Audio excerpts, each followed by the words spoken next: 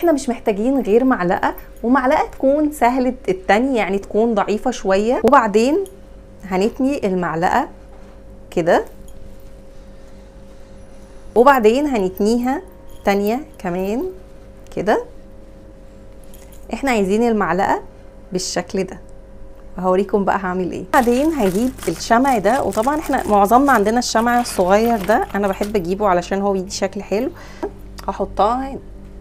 وكده ناقص آخر خطوة وأهم خطوة هي الحاجة اللي هتخلي ريحة الشقة جميلة.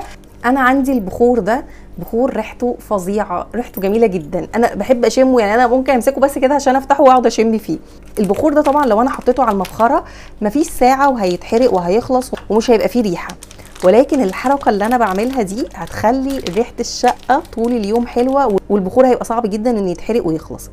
وبعدين هولع الشمع. عايزة أقول لكم بس هي خمس دقايق أقل كمان من خمس دقايق. وبتبقى ريحة الشقة فظيعة كلها ريحتها بخور ومش بس ساعة أو ساعتين لأ دي بتقعد طول اليوم. بصوا هي كده ابتدت بقى تطلع الدخان بصوا. أهي شايفين الدخان اللي طالع من البخور ده؟ باين ولا مش باين في التصوير؟ أهو أنا ممكن لما أحركها كده بتبان. بصوا الريحه بقى اللي طالعة من البخور دي.